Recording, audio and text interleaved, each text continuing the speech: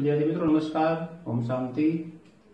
હવે આજે આગળનો સમુદાય શૂળ, ત્વચી અને સામી મેરુદંડી, આ બે સમુદાયનો અભ્યાસ આપણે કરીશું. તો સૌથી પહેલા આપણે ચાલુ કરીએ મિત્રો. શૂળ, ત્વચી. સમુદાયનું નામ છે શૂળ, ત્વચી. અથવા એને શૂળ ચરમી સમુદાય પણ કહેવામાં આવે છે. બરાબર છે? એચિનો ડર્મેટા. તો એચિનો બેટા? શૂળ ચરમી અથવા શૂળ ત્વચી. આ બે પર્યાય શબ્દ તરીકે વપરાય છે. તો સૌથી પહેલા બરોબર વસવાટ વિશેની વાત કરીએ. વસવાટ. તો મિત્રો, શૂળ ચરમી અથવા શૂળ ત્વચી સમુદાય એવો છે?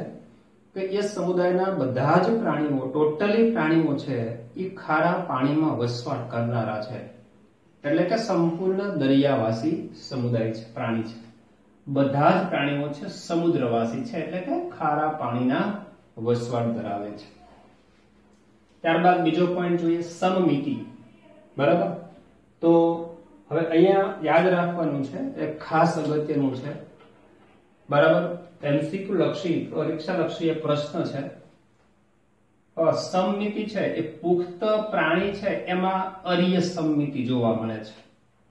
બરાબર છે? હવે દાખલા તરીકે ચાલો, અહીંયા એક આકૃતિ આપી છે પ્રાણીની. બરાબર? તો આ પ્રાણી છે ગોળાકાર સમમિતિ ધરાવે છે. કોઈ પણ તરે તમે કાપો તો પ્રાણીને બે સરખા ભાગની અંદર વિભાજિત કરી શકાય છે. એટલે પ્રાણી, આ પુખ્ત પ્રાણી છે. બરાબર? અરિય સમમિતિ ધરાવે છે, પણ જ્યારે આ પ્રાણી છે ગર્ભ વિકાસ થતો હોય એટલે કે ડીમ્બ અવસ્થામાં હોય, તો ગર્ભ અવસ્થા કે ડીમ્બ અવસ્થામાં છે ને એ દ્વિપાર્શ્વ સમમિતિ ધરાવે છે. બરાબર?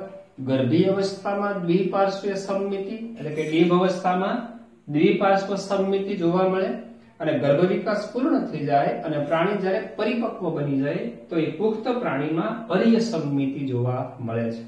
બરાબર છે? ખાસ અગત્યનો નોટ કરવા જેવો પ્રશ્ન છે. બરાબર? પુખ્ત પ્રાણીમાં આર્ય સમમિતિ અને દેવ અવસ્થાની અંદર દ્વિપાર્શ્વ સમમિતિ જોવા મળે એવી લાક્ષણિકતા કોની છે. તો શૂળ ત્વચી સમુદાયની. ત્યારબાદ શરીર રચનાની વાત કરીએ મિત્રો. અંગ તંત્ર સ્તરીય આયોજન ધરાવે છે. ત્રિગર્ભ સ્તરીય છે અને દેહકોષ્ઠી છે. ચાલો કોમન બાબત છે. બરાબર? હવે ત્યાર પછીનો પોઈન્ટ છે. નીચેની એટલે કે વક્ષ બાજુએ મુખ હોય. આ પ્રાણી છે. હવે અહીંયા તો આપણે સમતલી આકૃતિ દોરી છે. વાસ્તવિક આ પ્રાણી છે. બરાબર છે? આ પાંચ અંગો ધરાવે છે. પંચ ત્રિજ્યા અરિય સમરચના કહેવાય. હવે આવી રીતે આ પ્રાણી છે, પાણીની અંદર આવી રીતે માનવ તરે છે. તો ઉપરની જે સપાટી થાય છે, એને કહેવામાં આવે છે, બરાબર?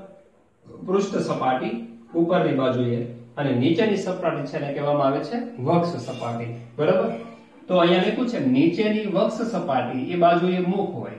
નીચેની બાજુએ મુખ હોય. અને ઉપરની એટલે કે પૃષ્ઠ બાજુએ શું આવેલું હોય છે? મળ દ્વાર આવેલું હોય છે. ત્યારબાદ, જલવાહક તંત્ર. બીજો એક અગત્યનો પોઈન્ટ મિત્રો, જલવાહક તંત્ર. બરાબર? એ શૂળ ત્વચીનું એક વિશિષ્ટ લક્ષણ છે.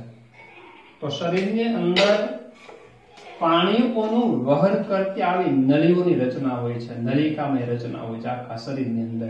બરાબર? એ બધી નળીઓમાં પાણીનો પ્રવાહ વહે છે. અને બધી નળીઓ છે એ જલવાહક તંત્રની રચના કરે છે, જે શૂળ ત્વચીનું એક વિશિષ્ટ લક્ષણ ગણવામાં આવે છે. જે એટલે કે જલવાહક તંત્ર. હવે મિત્રો, આવા પ્રાણીની અંદર જે નળિકાઓથી આખું જલવાહક તંત્ર બને છે એ કેટલા કાર્યો સાથે સંકળાયેલ છે? દાખલા તરીકે પ્રચલન. હવે સવાલ થાય જળવાહક તંત્ર છે એ પ્રચલન સાથે કેવી રીતે સંકળાય તો જાણકારી માટે, હા જળવાહક તંત્ર છે શરીરની બહારની બાજુએ આવી એક નળી જેવો ભાગ, જેને નાલી પગ કહેવાય છે, એક પ્રવધ હોય છે ઉપસેલો ભાગ હોય છે, નળી જેવો, જેને નાલી પગ કહેવામાં આવે છે. નાલી પગ એ સ્નાયુ રચના છે. અને એના હલનચલન દ્વારા એ પ્રાણી છે પાણીના માધ્યમમાં પ્રચલન કરી શકે. તો આ નાલી પગ વાસ્તવિક જલવાહક તંત્રનો ભાગ ગણાય છે. બરાબર? અને એના દ્વારા એ પ્રચલન કરી શકે. એટલે જલવાહક તંત્ર છે પ્રચલનમાં વત્તા ખોરાક પકડવાના કાર્ય સાથે. ખોરાક ગ્રહણ કરવાનું કાર્ય હોય તો પણ એ વાહક તંત્ર દ્વારા પાણીના પ્રવાહ સાથે જ ખોરાક મેળવવાનું કાર્ય કરે છે.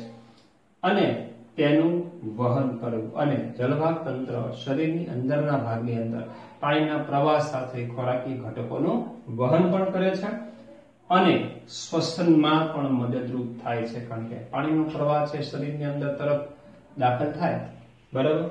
તો એમાં O2 CO2 ની આપણે થાય છે મતલબ કે એ શ્વસન તંત્રમાં પણ મદદરૂપ થાય છે, શ્વસનમાં મદદરૂપ થાય છે. તો જલવાહક તંત્ર શુળત્વચીનું વિશિષ્ટ લક્ષણ છે? જે પ્રચલનમાં ખોરાક પકડવા અને તેનું વહન કરવું અને શ્વસનમાં મદદરૂપ થાય છે. તો જલવાહક તંત્ર. ત્યારબાદ મિત્રો વાત આવે છે કંકાલ તંત્ર. તો કંકાલ તંત્ર છે કેલ્શિયમ કાર્બોનેટ, જેને આપણે આગળ નામ આપ્યું હતું કલ્કેરિયસ. એ કલ્કેરિયસની અસ્થિકાઓ, એટલે એને પટ્ટીઓ તકતીઓ જેને કહેવામાં આવે છે. અસ્થિકાઓ કે તકતીઓનું અંતકંકાલ ધરાવે છે. તો અંતકંકાલ છે, બરાબર છે? એ અસ્થિકાઓ અને તકતીઓનું બનેલું હોય છે. જે વાસ્તવિક રીતે આ અસ્થિકા અને તકતી જેવી પ્લેટો છે, મજબૂત, જે શેની બનેલી છે કેલ્શિયમ કાર્બોનેટની. એટલે તમારે એમ યાદ રાખવાનું, અંતકંકાલ છે કેલ્શિયમ કાર્બોનેટની તકતીઓથી બનેલું છે.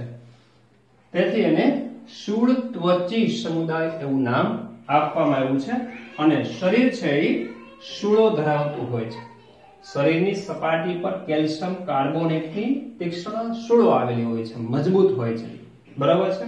અણીદાર કેલ્શિયમ કાર્બોનેટની આવી શૂળો આવેલી હોય છે શરીરની સપાટી ઉપર. એટલે શૂળ ત્વચી સમુદાય કહેવામાં આવે છે. ત્યારબાદ પાચન તંત્રની વાત કરીએ તો સંપૂર્ણ પાચન તંત્ર, પાચન નળી સીધી અથવા ગૂંચળાદાર.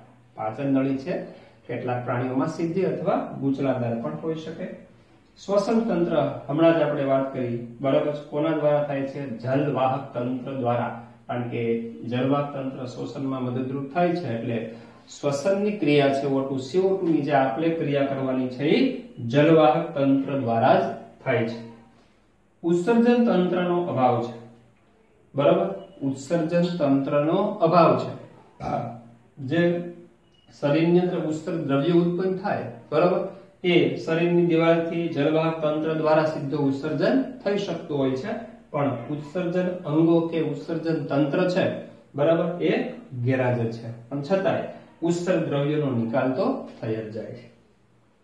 પ્રજનન તંત્ર મિત્રો લિંગ ભેદ દર્શાવે. લિંગ ભેદ દર્શાવે એટલે એક લિંગી પ્રાણી છે. લિંગી પ્રજનન કરે છે. બાહ્ય ફલન દર્શાવે છે. મુક્ત તરતા ડિંબ સ્વરૂપે પરોક્ષ ગર્ભ વિકાસ. મિત્રો, પાણીના માધ્યમમાં છે એટલે ડિંબનો વિકાસ. જે અધૂરો ગર્ભ વિકાસ થતો હોય ક્યાં થાય? પાણીના માધ્યમમાં થાય. બરોબર છે? એટલે ને ડિંબ પ્રકારનો અને પરોક્ષ ગર્ભ વિકાસ કહેવામાં આવે છે. તો લિંગ ભેદ દર્શાવે, લિંગી પ્રજનન કરે, બાહ્ય ફલન દર્શાવે મુક્ત, તરતા ડિંબ સ્વરૂપે પરોક્ષ પ્રકારનો ગર્ભ વિકાસ થાય છે. ઉદાહરણ તરીકે, મિત્રો, ઘણા બધા ઉદાહરણ છે. તારા માછલી, જેને એસ્તરિકસ કહેવામાં આવે છે. સ્ટારફિશ, બરાબર? પછી સાગર ગોટા, જેને એચએનએસ સી અલચાઇન કહેવામાં આવે છે. પછી ત્રીજું એક્ઝામ્પલ છે સમુદ્ર કમળ, એન્ટેડોન. અથવા સી લીલી કહેવામાં આવે છે. અને સમુદ્ર કાકડી જેને ક્યુકુમેરિકાના કહેવામાં આવે છે. બરાબર છે? ક્યુક્યુ મેરિના અને સી ક્યુકમ્બર. સી ક્યુકમ્બર, સમુદ્ર કાકડી. અને બરડ તારા જેને ઓફિયોરા અથવા બ્રિટલ સ્ટાર કહેવામાં આવે છે. તો આ બધા જ ઉદાહરણો છે. તારા માછલી સાગર ગોટા, સમુદ્ર કાકડી, સમુદ્ર કમળ અને બરડ તારા. બરાબર? આ બધા છે ઉદાહરણ શૂળ ત્વચી. શૂળ ચરમી સમુદાયના છે જે સંપૂર્ણ દરિયાવાસી પ્રાણીઓ છે. સંપૂર્ણ દરિયાવાસી પ્રાણી સમુદાય કયો મિત્રો? કે શૂળ ચરમી એવી રીતે સામી મેરુદંડી. બરાબર છે? હેમી પડદાટા સામી મેરુદંડી. બરાબર છે? હેમી કોર્ડાટા તો સૌથી પહેલા આપણે વસવાટની વાત કરીએ. તો મિત્રો, સામી મેરુદંડી છે એ પણ બધા જ એના સભ્યો છે. ખૂબ જ નાનો સમુદાય છે પ્રાણી જગતનો. બરાબર? સૌથી નાનો છે. બહુ ઓછા પ્રાણીઓ આ સમૂહની અંદર, જૂથની અંદર ધરાવે છે. એટલે આ જૂથ છે ને નાનો સમૂહ અથવા જૂથ કહેવામાં આવે છે. બહુ ઓછા પ્રાણીઓ છે. અને જેટલા પ્રાણીઓ છે બધા સંપૂર્ણ સમુદ્રવાસી છે. બરાબર? કયા છે? દરિયાવાસી ખારા પાણીમાં વસવાટ કરતા હોય તેવા. સમમિતિ છે દ્વિપાર્શ્વ સમમિતિ બરાબર છે?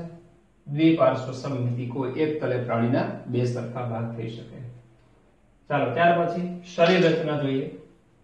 તો મિત્રો પેલા એક અગત્યનું વાક્ય છે કે સામી મેરુદંડીને, એટલે કે હેમિકોર્ડેટાને પહેલા, પહેલાના સમયમાં એમ મેરુદંડી સમુદાયના ઉપસમુદાય તરીકે માનવામાં આવતો હતો. એટલે આ સમુદાય છે સામી મેરુદંડી. તેને મેરુદંડી સમુદાયનો ઉપસમુદાય માનવામાં આવતો હતો. બરાબર છે? પહેલાના સમયમાં એમ.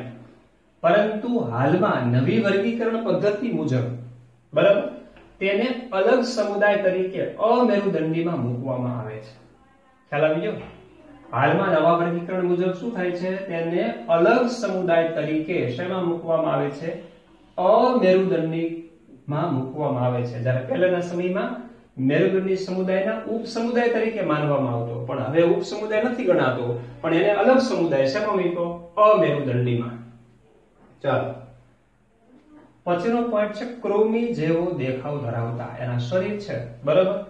પાતળી આમ દોરી જેવા લાંબા હોય. જેને આપણે શું કહીએ છીએ? કૃમિ જેવો દેખાવ ધરાવતા. ત્રિગર્ભસ્તરીય છે અને દેહકોષ્ઠી પ્રાણી છે. પછી શરીર નળાકાર છે. શરીર કેવું છે? નળાકાર. જોઈ શકો છો. બાલાનો ગ્લોસસ આ એક ઉદાહરણ છે. બાલાનો ગ્લોસસ તો એ પ્રાણીમાં ઉદાહરણ છે. શરીર છે કેવું છે? નળાકાર. આ અંદરનો ભાગ છે જે શ્વસન ઝાલરો બહાર દેખાય. એ રીતનો આંતરિક વ્યૂ છે. બાકી શરીર કેવું હોય? એકદમ નળાકાર છે. અગ્રભાગે સૂંઢ હોય છે. શરીરનો અગ્રભાગ જોઈ શકો છો. આ શરીરનો અગ્રભાગ છે. અગ્રભાગે શું આવેલું છે? સૂંઢ આવેલી છે. ત્યારબાદ ગ્રીવા. આ જે વચ્ચેનો આટલો ભાગ છે, બરાબર? આને કહેવામાં આવે છે ગ્રીવા.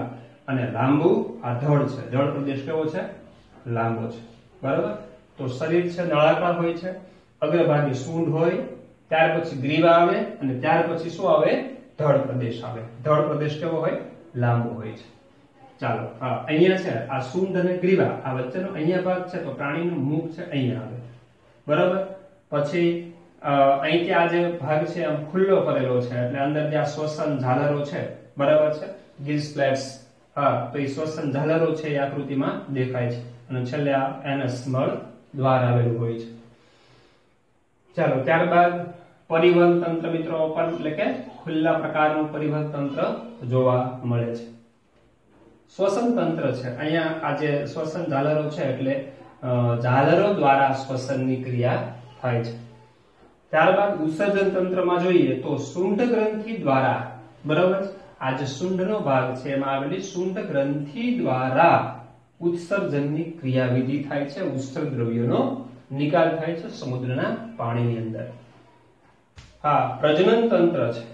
લિંગ ભેદ જોવા મળે. હા, મિત્રો લિંગ ભેદ જોવા મળે ને પ્રાણીઓ છે, એક લિંગી હોય છે. બરાબર? બાહ્ય ફલન અને પરોક્ષ ગર્ભ વિકાસ દર્શાવતા પ્રાણીઓ છે. બાહ્ય ગર્ભ વિકાસ થાય એટલે એને પરોક્ષ પ્રકારનો વિકાસ કહેવામાં આવે છે. બાહ્ય ફલન અને પરોક્ષ પ્રકારનો વિકાસ થાય છે. ઉદાહરણમાં જોઈએ તો બાળાનોગ્લોસસ અને સૈકોગ્લોસસ. આ બે એક્ઝામ્પલ બુકની અંદર આપેલા છે. બરાબર? તો એકદમ નાનો એવો સમુદાય છે. બરાબર?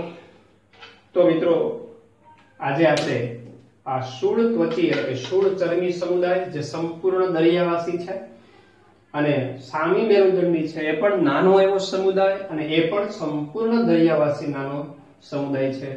બે વિષયની આપણે વાત કરી. શૂળ ચરમીમાં મિત્રો ખાસ કરીને યાદ રાખવા જેવી બાબતો.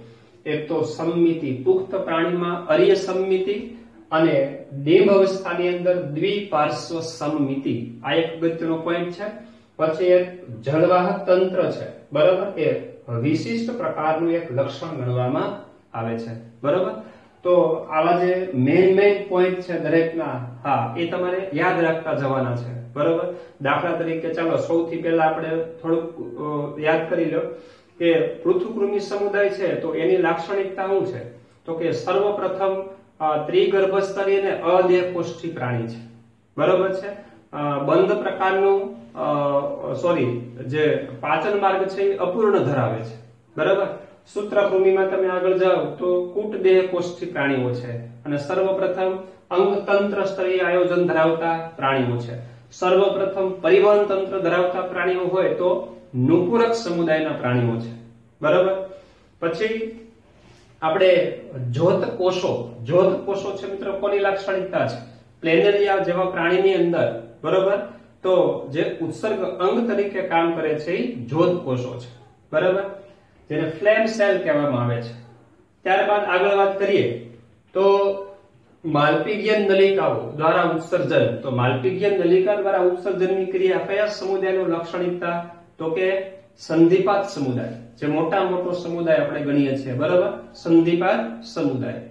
પૃથ્વી પરના જે બે તૃત્યાંશ ભાગ કરતા પણ વધારે પ્રાણીઓ છે એ સંધિપાત સમુદાયના છે. સૌથી મોટો પ્રાણી સમુદાય તો કે સંધિપાત બીજા નંબરનો સૌથી મોટો સમુદાય તો કે મૃદુકાય. બરાબર? પછી રેત્રિકા નામની રચના.